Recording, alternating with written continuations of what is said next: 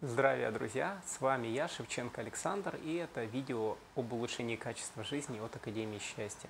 Сегодня поговорим с вами о прямом восприятии. То есть это способность человека видеть напрямую, так как есть. Когда мы не полагаемся на те данные, которые нам кто-то сообщает, или даже это не данные от органов чувств, то есть я имею в виду зрение, слух, обоняние, осязание. Вот. Прямое знание – это когда мы вот именно знаем, то есть это то, что раньше называли вера, но в его исходном понимании, когда человек не слепо верит, а когда он знает о том, что это так и есть. То есть вот об этом я говорю. Прямое восприятие – это когда мы можем почувствовать, то есть, если так сказать, языком человека, но это не чувствование, а действительно больше относится к знанию. То есть, например, человек вдруг вот понимает, что он знает, что происходит сейчас там с его близкими, с близким человеком. Вот. И это и есть вот такая прямая передача. И проводились даже опыты, исследования, когда один человек таким образом э, точно рассказывал о том, что происходит с другим человеком на другом конце э, нашего, нашей игровой площадки. И это естественным образом происходит. Э, бывает у людей близких, э, очень, ну, как бы связанных близко. То есть это мать с, э, с ребенком, да, или там два близких человека, которые долгое время живут вместе. Вот и такое чувствование, оно на самом деле присутствует у каждого из нас.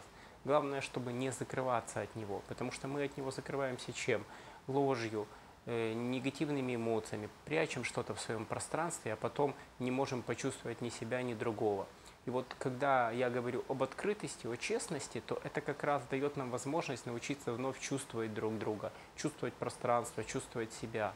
И мы убираем то, что мешает нам чувствовать. Вот это я называю негативным зарядом, то есть это не принятие. И когда мы можем вновь посмотреть на это как есть, то есть прямым восприятием, то это все уходит это перестает на нас влиять, и мы чувствуем, что да, здорово, что с нами на самом деле произошли чудесные изменения, которые помогли нам в улучшении качества жизни.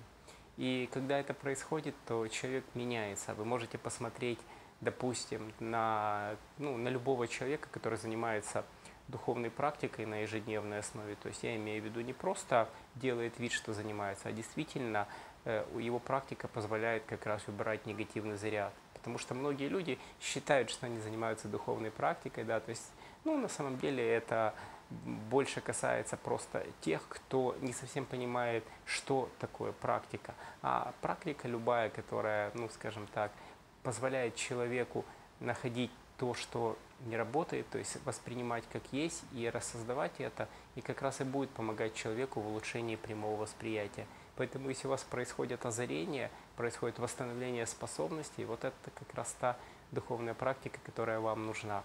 Я, например, применяю процессинг. Процессинг он как раз позволяет человеку соприкоснуться с собой, заглянуть вглубь себя и с помощью прямого восприятия рассмотреть то, что ему мешает, избавиться от этого, но не просто выкинуть или подавить, а действительно рассмотреть, размоделировать, чтобы это перестало влиять на него и на других. Вот поэтому я вас, друзья, приглашаю в Академию счастья для того, чтобы попробовать процессинг и на самом деле для того, чтобы научиться прямому восприятию и чтобы понимать и себя, другого, понимать природу, Вселенную, вот именно так, как она есть, то есть без какого-то подавления или обесценивания, а напрямую чувствованием, прямым восприятием. Если вам это интересно, то пишите мне, мои контакты будут в описании под этим видео. И, конечно же, подписывайтесь на канал, делитесь видео со, со своими друзьями и близкими. Вот, и мы будем общаться в этих видео, я их записываю ежедневно. А в среду в 19.00 провожу прямой эфир, где рассказываю более подробно о процессинге, о том, как он помогает в улучшении качества жизни. Вот на этом, друзья, на сегодня все. Всем счастья, гармонии, осознанности и до скорой встречи.